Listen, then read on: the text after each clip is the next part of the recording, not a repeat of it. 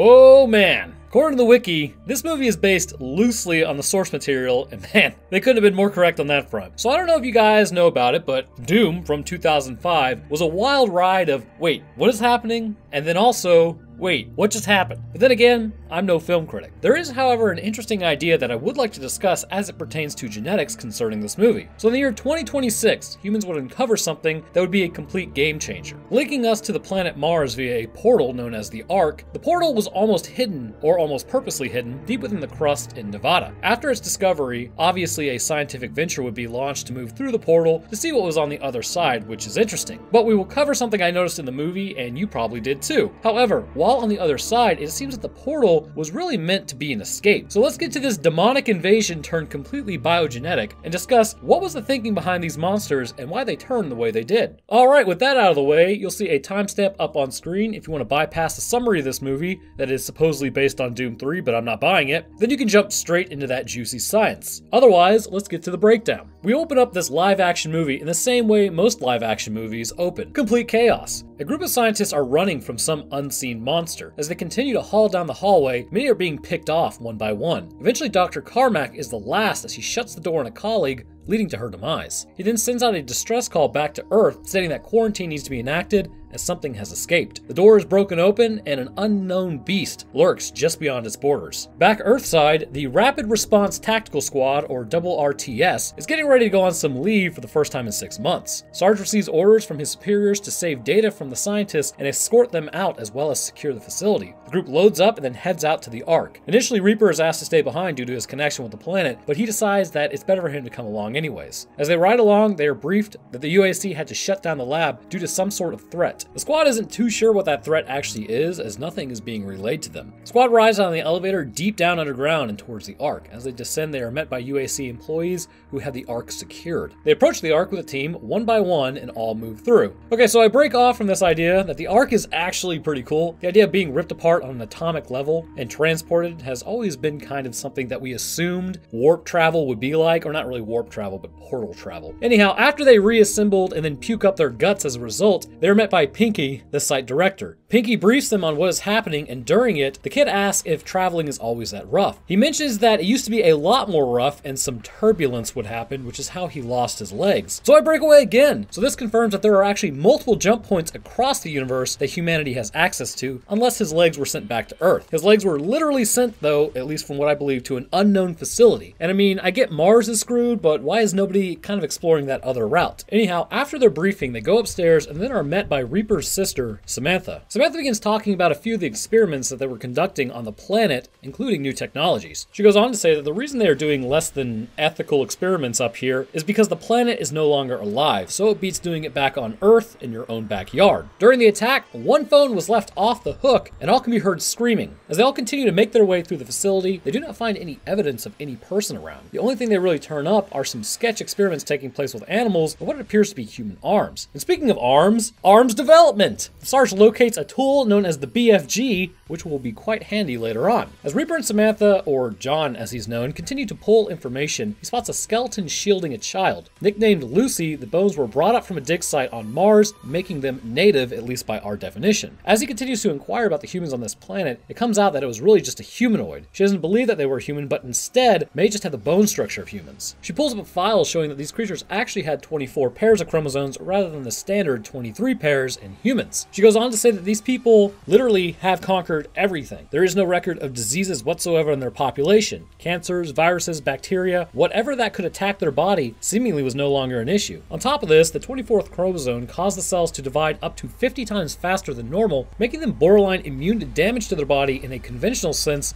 although obviously they could be taken out. Which brings me to the skeleton shielding the child. Just a bit of a plot point, but how did she meet her end exactly? I mean, she became petrified all while holding that position. From what we see with the monsters in the movie, they are really just tearing people apart. It's just, I, okay, anyways, never mind. John brings up that maybe these humanoids were just naturally superior to humans, and Samantha says they were not natural at all. The earliest fossils she found were actually just like humans. They had 23 chromosomes, and instead, this 24th chromosome appears to be bio bioengineered and also appears to be administered as they became more technologically advanced. She suggests that maybe they met their end through time, to which John rightly deduces you don't shield a baby from time. After having these discussions, Dr. Carmack quasi attacks a group, then runs. The soldiers give chase and back him into a corner. He drops the arm that he was holding, but appears to be degrading somehow mentally. Samantha approaches him and he rips off his own ear. Samantha then says that she will take him back and talk to him as she knows him, but this would prove to be a terrible idea later on. Taking him back to medical, they all begin working on him and running tests. They pull some of his blood and determine that it appears to be some coagulation within his cardiovascular system. After running an analysis on the blood, they find that it doesn't match any known blood type in humans. While running these tests, however, they look back to see that he has gotten off the gurney and has escaped. While they were doing this, the rest head out to locate the body that was supposed to have the attached arm. Portman and the kid move through the hallways and eventually find a woman. She turns and has a demonic face, and they put her down immediately and then radio that they found the rest of her that should attach to the arm. Moving into genetics, the group finds that all the animals from earlier have been ripped apart, with organs sprayed all over. They eventually find a lone person standing over the mouse cage, eating them. The creature turns around and then brandishes a bone saw and runs at them. They quickly take him out, and now Dr. Olson is out of the game. The team eventually begins chasing something big later on that they just catch a glimpse of. As they attempt to corner it, it moves down into the sewer system of the facility. Giving chase, Sarge, the kid, Reaper, and Goat all descend and begin moving through. They eventually find that another scientist is down there and completely done as well. Moving through, eventually Goat is attacked by the creature with multiple eyes and has the creature transfer something into his neck. Eventually, John is able to subdue it with a punch and a ton of shots. They drag it back to the medical lab where they're trying to resuscitate Goat. As they keep trying to resuscitate Goat, they would ultimately fail, and then they reveal that the creature that did it is in no way human. They assume that it must be completely alien and then shut down the Ark after sending all the civilians through. Mac shuts the door behind them after arming Pinky, and they begin the autopsy of this creature. Eventually, the entire team meets back up and they discuss what they should do at this point. Sarge is also looking a little crazy eyed when Portman mentions that the SOP states that they need to call in reinforcements. This will be important later. As Samantha waits for Duke to return, she gets a little freaked out and then heads through the nano wall. Eventually, Duke does return, and as he's in the hallway, the creature begins attacking him and then slices open his arm. As it runs at them, Samantha is able to close the nano wall, trapping the creature in the process. Next, the man with the least amount of screen time is also sent to check out an area alone, which that's 10 out of 10 thinking. We all know it's going to happen. Mac slowly moves through, and then something is clearly stalking him. After John's flashback about his family getting buried in a rock slide on Mars, Mac hears something and turns around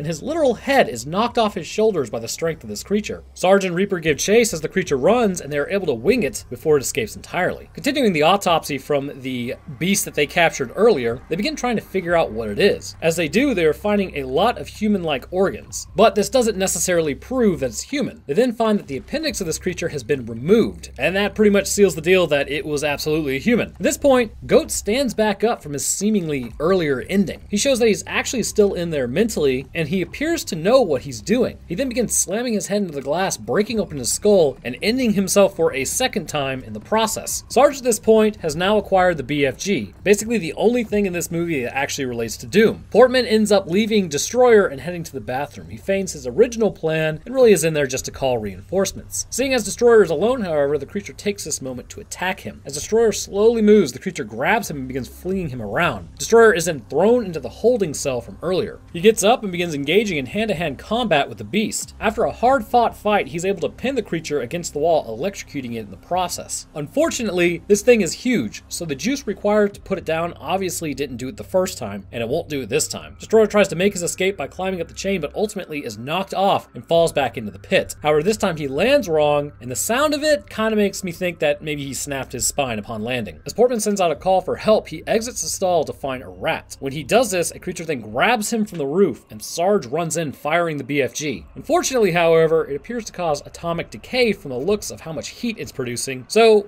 whether it was the BFG or the infected, who's really to ultimately say what took Portman out? Back in the medical lab, Samantha is conducting an experiment on the creature in the wall. She begins to understand that the beasts that are attacking them are just really people who are infected. The beast in the wall was actually Dr. Carmack. The one on the table is Steve Willits, the original person that they were actually all looking for. She mentions how they're all genetically mutated and might even be reversible. Sarge then begins to lose it and then kind of just takes out Dr. Carmack, saying that now his situation is irreversible. Samantha continues continues to protest that they aren't doing anything sketch, but Mr. Nanowall over there suggests different. The data she was downloading shows that actually some really strange things were happening on Mars. Apparently, Dr. Carmack took some of the 24th chromosome and began human trials despite not getting the go ahead. Well, the go ahead from the ethics committee, anyways. The subject was lowered into the holding pit shortly after injection. We can see that his skin has become blotchy and eventually all the bones begin undergoing morphological changes. Presentation of genetic mutations begin to manifest in the hands first until ultimately this would likely change the entire skeletal structure. Reaper and Sarge then haul back to the Ark after Pinky calls to tell them that something is cutting through the door. They find that Pinky is gone and the Ark has been activated. Sarge orders them to get as much ammo as possible as they're heading back through to contain whatever just went through. Reaper then runs back to grab his sister, and as he does, she has a revelation about what's going on. She shows that the infected appear to prefer people over others. The monsters are choosing who to infect with this chromosome based on their brain matter. Sam postulates that the monsters are latching onto certain neurochemical markers within the brain.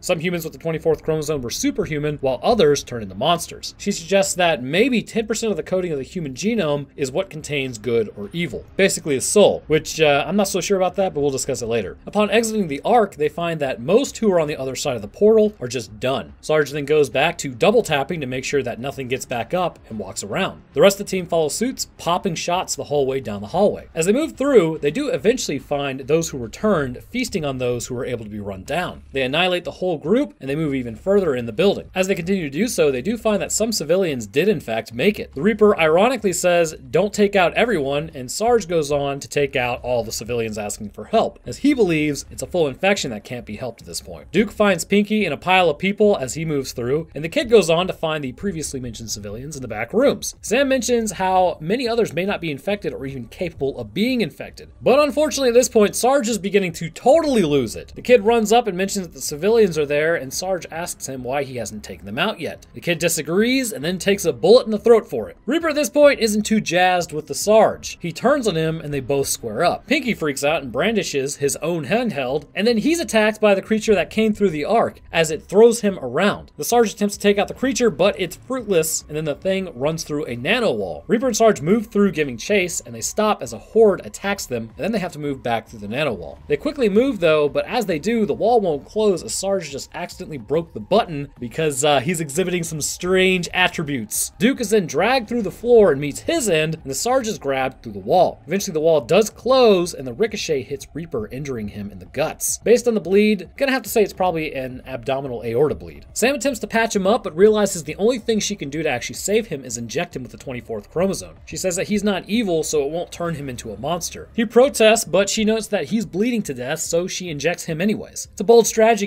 Cotton. Let's see if it works out for him. He hands her his handheld just in case he turns, but she turns it down. He passes out after the injection. When he wakes back up, we see something is kind of way more Doom like, which is pretty awesome. He approaches the mirror to see that all his wounds and cuts have now completely healed, indicating that the injection has worked. Now entirely hyper focused, he systematically makes his way through the compound, which this, again, is arguably the coolest part of the movie, but it kind of needs more metal. But hey, we even get to see a Hell Knight, which is pretty dope. Moving even further, we see that the Hell Knight is wielding a chainsaw, which is even cooler. And this would indicate that even though they have become absolute monsters, tools at their disposal haven't completely gone outside of their ability to grasp and understand. Moving further in, we spot Pinky, and Pinky is now turned into just a god awful version of Pinky. So after taking the chainsaw to it, he eventually bisects it, mostly mortally injuring it as he puts it down permanently. Sarge then shows up mentioning that he took care of the civilians, and as he does, the quarantine is lifted. He mentions that they should probably just go outside and get some fresh air, but then Sarge's hand begins splitting open his glove to show that he's actually beginning to change. They open fire at one another, and the situation devolves into a hand to hand fight. It becomes clear as the fight goes on that Sarge is beginning to change into whatever these creatures are. With monster versus superhuman, the room suffers heavy damage until eventually Sarge is forced through the Ark. As he is, Reaper then throws a grenade through, blowing up the Sarge and the Ark in the process, sealing the genetic testing on the red planet until humanity can get there by its own natural technology levels. Reaper and Samantha then exit the facility, and we get to the end of this movie. So first things first, what is going on with this story, and what is going on with this movie? I figured covering this may be the best route since, you know, I'm not sure if this is actually canon to the Doom universe, but surely not, seeing as there's no demons, just genetic anomalies. So once upon a time, prior to the stripping of the Mars atmosphere, roughly around the same time as what we think Venus was, likely both planets had oceans and continents, which is just a fun fact for you. Venus went through its hellish landscape changes, which is what we see today with it being the hottest planet in the solar system. Mars, however, had different issues. As its magnetosphere degraded and ultimately failed, the atmosphere would be stripped away by solar winds, leading to the barren planet that we see today. This is why actually now it's so difficult to establish a colony on Mars, as we have yet to do so anyways, because we still don't fully understand how to keep out ionizing radiation from the sun. And just as a fun fact, Venus also does not have a magnetosphere. Interesting, is it not? Regardless, when Mars was habitable, it would appear as though humans either evolved there or were more technologically advanced back in history. I would have to say it's the former over the latter, and here's why. If we evolved on this timeline on Earth and were technologically far enough along, we would have retained that tech unless there was some cataclysmic event. The Earth based humans would have just shut the Ark, sealing the creatures on Mars rather than allowing them to ransack Earth, and our portals would have just continued to run the same as in other areas. However, based on the fossil record on Mars, it would appear that humans stemmed there first. The reason is because when the Ark was created, it's assumed the planet had been ransacked by monsters accidentally created by the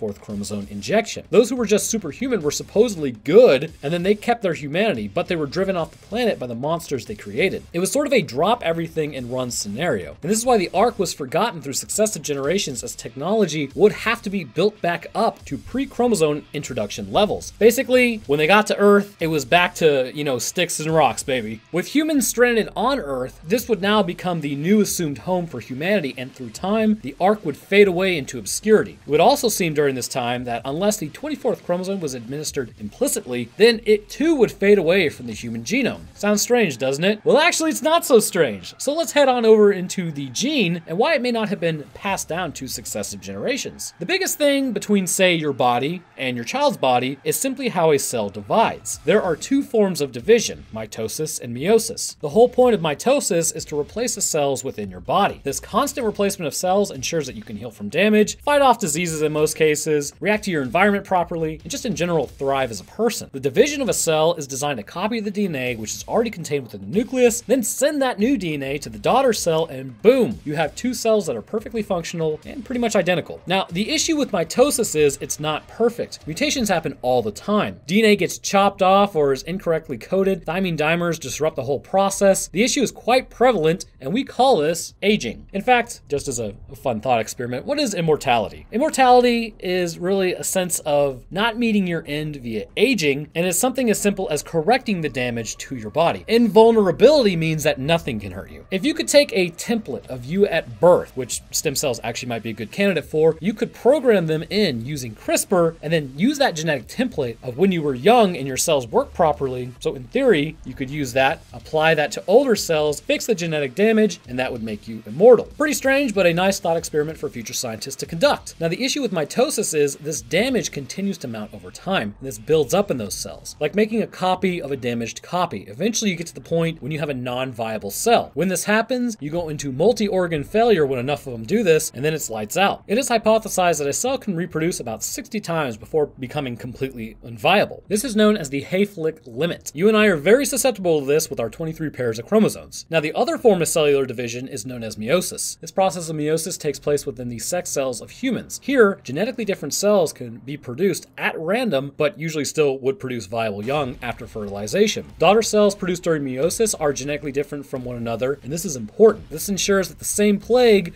that might wipe out your parents might not wipe you out, or some ailment that might run in your family might be completely muted during the genetic exchange. Then, with the introduction of new genetic material to work with from a partner, you get things like you know, almost an entirely different organism. Well, it's still human, but it's still also related to parents and siblings. The thing about meiosis, however, is you get haploid cells, which is just 23 chromosomes, so 23 pairs of chromosomes are 46 chromosomes, you know, math. But you get 23 chromosomes rather than diploid cells that have 46 chromosomes. Diploid is the product of mitosis, meaning that all the DNA is there that it needs. Meiosis would produce the haploid cells, which contain half the DNA that is combined with a partner to create a diploid cell, which then produces something like you. With the introduction of the 24th chromosome, this clearly changes the game a little bit. Now, something to understand about mitosis is it copies whatever is there. The introduction of the 24th chromosome would absolutely be copied over in this process of cellular division. So whoever receives it would have it for life. We will discuss the benefits of it here in a moment on a cellular level, but the sex cells are different. With the 24th chromosome introduced into the body, the body would only take half that information. When it does, it would in turn likely mute most, if not all, the benefits of having such information in the genes. So what's passed along to the child isn't the 24th chromosome, but likely just sort of like a patch in of information information that was either damaged and could not be read or didn't have any impact on the body. Or it's totally possible it was literally designed not to affect sex cells at all so that it wouldn't even be copied in the first place. Ultimately, this would lead to adults who fled Mars with the 24th chromosome and then their subsequent children or us having these standard 23 pairs of chromosomes that are native to our species. It was basically bred out through natural functions and this may have actually been the original intention of the designers, a self-limiting genetic augmentation that should it go awry, the children would survive while the problem was worked out. And it would appear for a time that everything must have been fine with the 24th chromosome introduction. But this was not to last because these safeguards do appear to have stayed in place, allowing for the survival of our species, but there's probably a reason we're not living on Mars anymore. So, what does the 24th chromosome actually do? Well, it would appear to me, based on what Samantha says, that this likely codes for proteins that are bioengineered. We have proteins within our bodies currently, coded for by things like our DNA. And what they do is they proofread DNA, assist with mitosis, and help us build new cells. We refer to these almost pre-proteins as amino acids. These can be conglomerated together to create a chain, and this will become a full-fledged protein that we know and love. From here, they can bend, fit into one another, and build structures that we need. The 24th chromosome in mind would probably be an amino acid chain that would then work with our naturally occurring protein structures to increase their natural capacities, all while negating issues. So where does the first place start? Well, clearly, if you want to build a good house, you start with a foundation, right? So the first thing it would need to kind of mess with is your DNA and keeping it in check. The 24th chromosome likely affected the DNA first and conserved it, as well as fixing mutations in the coding itself. This would be imperative later on for things like mitosis. Naturally occurring DNA polymerase within the body is what proofreads our coding. When it comes across an anomaly or break, it quickly works to fix it by installing the correct opposite sequence or point. However, should two points across from one another change at random or an entire segment be lost, DNA polymerase is limited in its ability to correct these problems, and usually this will result in a mutation being accepted or completely break it, leading to the end of the cell. The thing that you have to hope for is that this random mutation doesn't break somewhere important or happen somewhere important, and this is kind of what induces cancer. The 24th chromosome may serve as a sort of template as well as a bioengineered super polymerase that could go through and correct all the coding. This is supported by the lack of cancer which arises from genetic mutations, seeing as the polymerase fixes these mutations,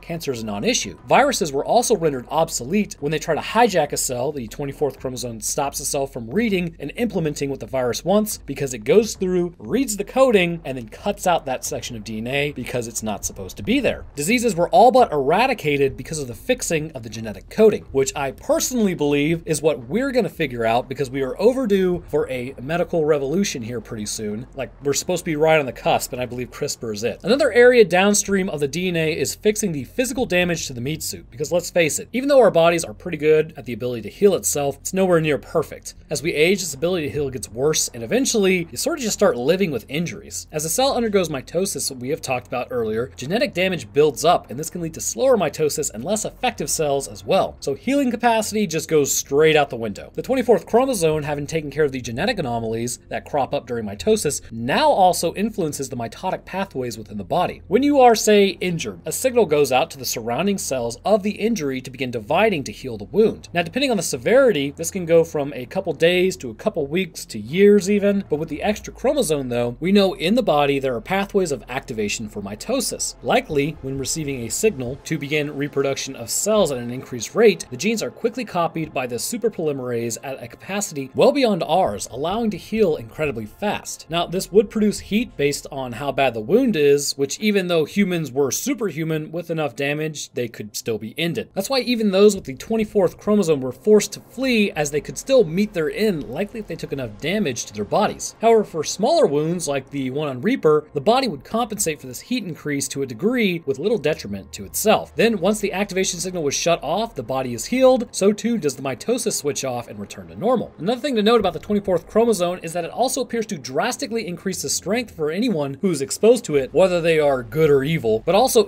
increases the intellect of those deemed good, while somewhat degrading those deemed evil, which is really just suggesting more of a mental issue later. But we will get to those soon when we discuss the differences and why those arose. The strength of those with the 24th chromosome would, in my mind, for those who are evil, mean that they have more muscle capacity doubled as we see that they get bigger the longer they are infected. They also exhibit growth structurally concerning the skeleton, which means likely the whole body is growing. To those deemed good, likely this strength increase is not as great, but still quite present. Stronger than a regular human, this may be because the barriers of the mind were being removed on muscle strength. So we have in us all the ability to be much stronger than we think we are. But to protect us from damage, our brains limit what we can do. If we went 100% all the time, in fact, we don't even go, I believe it's down to like 40%, you could train and get up to 60% of your actual strength, but you'll never approach 100%. But if we went 100% all the time, we would be constantly injured and our bodies would degrade. However, with the introduction of increased healing capacity, there is no detriment apart from resources being used more heavily within the body. This barrier may be intentionally broken by the chromosome addition, intentionally breaking those in place barriers. Originally, the chromosome creation was intended to do this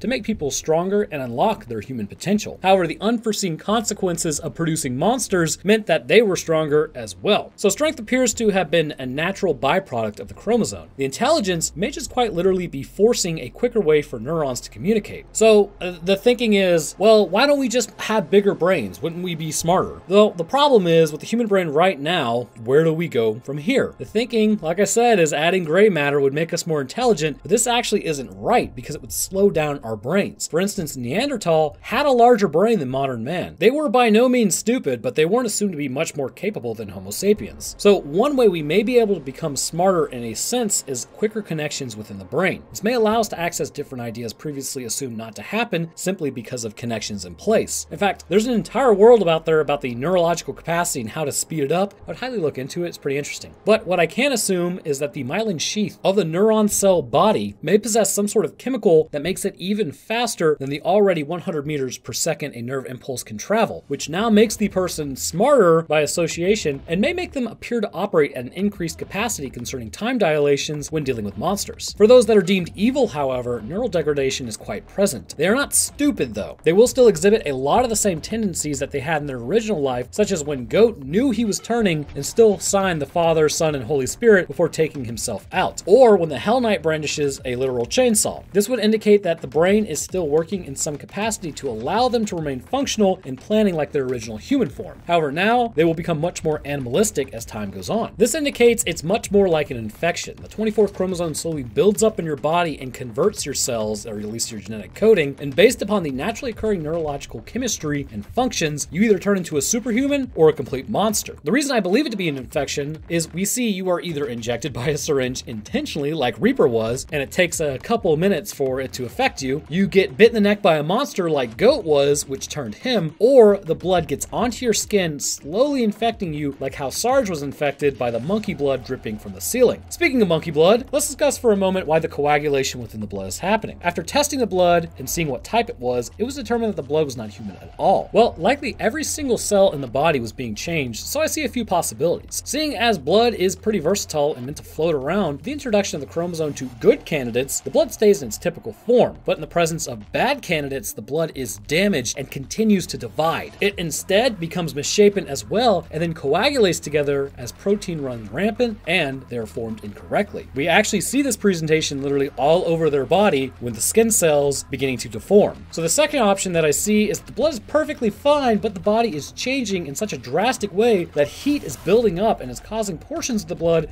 to become destroyed. When this happens, it coagulates like it normally would, but doesn't end up causing heart attacks since the healing ability of these monsters would bypass the damage of blocked cells. As the damage continues, however, this would likely result in even more damage to the body via coagulation. Now, given those two choices, I would have to say it's more than likely the first one versus the second one, but it could also still be a combination of both. So I brought up Mars being habitable at the beginning because I believe this played a role in why all of a sudden these issues started to arise. Should humanity have originally evolved on Mars while it was habitable, we may have been able to draw a parallel between the planet itself and the changes in the genetic coding causing these monsters to form. So the question is, are there really good or bad people leading to these issues? Personally, I don't believe so. First, I don't believe that the 10% of the human genome codes for a soul, because if we do have souls, those are likely energy rather than some physical thing coded for in our cells. I know, we are getting a really new wave with that statement, but uh, it just is what it is. What I do believe, though, is the injection of the 24th chromosome actually appears to still be influenced by the DNA of the person as much as it influences the DNA of the person. So let me postulate this. When the 24th chromosome was introduced into the population, the planet had a magnetosphere and everything was good. Likely there were some issues with those who already had problems within their genetic coding, but these were not known until it was too late. Almost sort of like how in I Am Legend they were trying to cure cancer, everything was going good. They released it to the population, and then after it mixed within the population, it disastrously affected certain individuals. So when Mars's magnetosphere started failing, this let in ionizing radiation. This in turn would go on to damage the DNA of a person and may have overwhelmed the bioengineered proteins of the designers of the 24th chromosome. In turn, it changed what the chromosome was doing and caused them to devolve into monsters. We can actually sort of see evidence of this. Supposedly, it's taking some who are good and some who are bad and changing them. Samantha mentions how those infected were choosing some over others based on their brain chemistry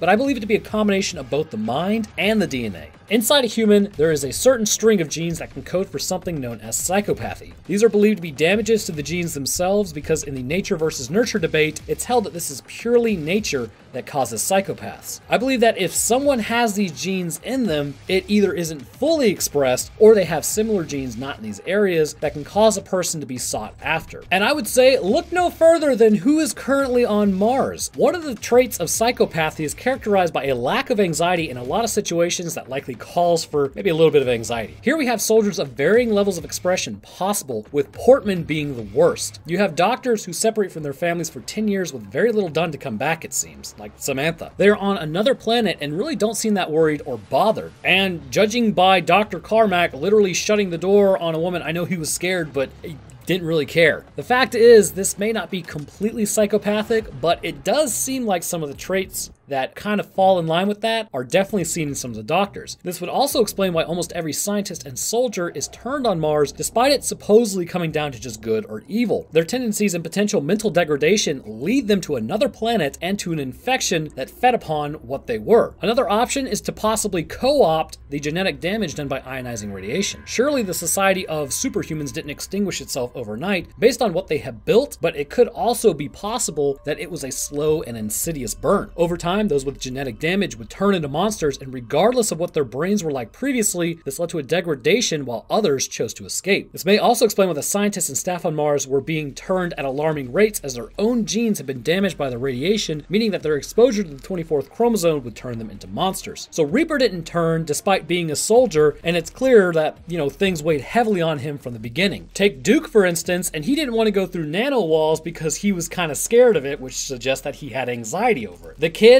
disobeyed a direct order and ended up paying for it, but he was also scared to go through the Ark. The destroyer, well, I don't know, man. He got he got tracked down, so he might have had some psychopathic tendencies. Sarge was absolutely a psycho, and Portman was the biggest psycho out of everybody. But getting back to Sarge, possibly what made him so successful was being a warrior. And being a warrior is something you need the inability to feel. We know that a lot of Vikings actually apparently were psychopaths, and that trait was seen as desirable to their women back in the day. So ultimately, here's what I I believe is happening. It doesn't boil down to good or bad, but to your genetics. If you have coding for psychopathy, either majorly or minorly, this can cause you to become a monster when exposed to the 24th chromosome, as it seems to have a tendency to amplify what's already there. If you lack this set of gene issues, then your body's natural abilities are enhanced and you become superhuman. However, damage to certain portions of your genes may render you a monster later, which may be what happened to the Mars Society as their magnetosphere failed and then let in more and more radiation.